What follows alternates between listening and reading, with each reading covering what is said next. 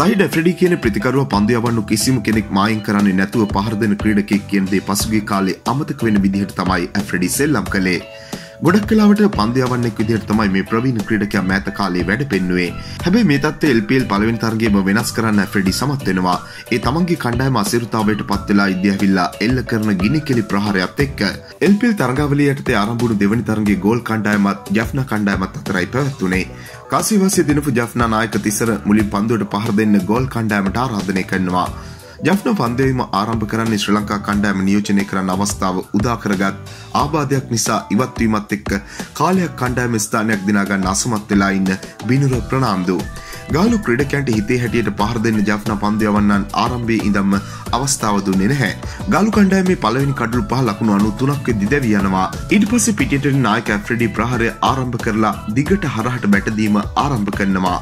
ගාලු ඉනිමේ වැඩිම ලකුණු ගන්න ෆ්‍රෙඩි පන්දු විසි තුනකදී හය පහර හයක් හතරේ පහර තුනක් එක්ක ලකුණු පනස් අටක් ලබා ගන්න සමත් වෙනවා.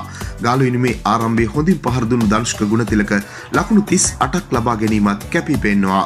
යෆ්න කණ්ඩෑ මෙනුවෙන් සුපිරි පන්දයමක නිරත වෙන වනිදු හසරංග පන්දුවර හතරෙදී ලකුණු දොළහක් විතරක් දීලා කඩුලු දෙකක් දවා ගන්න සමත් වෙනවා.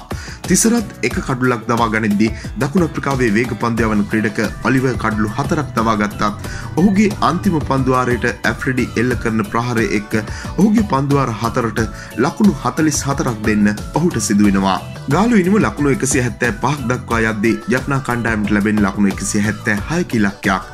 දක්ෂ පන්දයවන්නන් ඉන්න ගාලු කණ්ඩායම හමුවේ මේ ඉලක්කය අමාරුවයි කියලතමයි විචාර්කයන් මත පල කරන්නේ.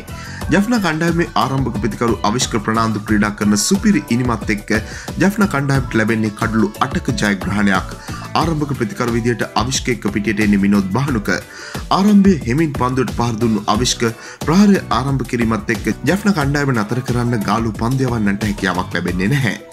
ජෆන කණ්ඩායම සතු අත්දැකින් බහුලම ක්‍රීඩක විදිහට ශොයි් මලික් එක අන්තයක් ආරක්ෂා කරගෙන අවිශ්කට වැඩි අවස්ථා ලබාදීමත් තරගේ ජෆ්න ජයග්‍රහණයට ලොකු හේතුවක් වෙනවා. ක්‍රඩිකෙකු ලබාගන්න එල්පල් මංගල ශතකයට ලකුණු අටක් මෙපිටින් නතර වෙන අවිශ්ක ලකුණු අනු දෙකක් ලබාගන්නේ හතරේ පහර පහකුත් හය පහර පහකුත් එක්ක මේ දක්ෂතාව නිසා තරගේ වීරයා සම්මානය ලැබෙන්නෙත් අවිශ්කට. මෙනි වීඩියෝ දිනපතා බලන්න අපත් සමගේ එකතුවන්න ඔබ තවමත් අපේ චැනලක සබස්ක්‍රයිබ් කරල නැත්තම් දැම්ම අපිය සබස්ක්‍රයිබ් කරන්නත් ක්‍රකටල්ට කැමති ඔබ යහලුකට බලන්න මේ වීඩියකෂයා කරන්නත් අමතක් කරන්න එපා. ක්‍රිකට් පිටිය නවන්දේ සපිරි තවත් අලුත් වීඩියෝවකින් හමුවනතෙක් ක්‍රිකට් ලංකාවෙතින් වාට සුබදවසක්.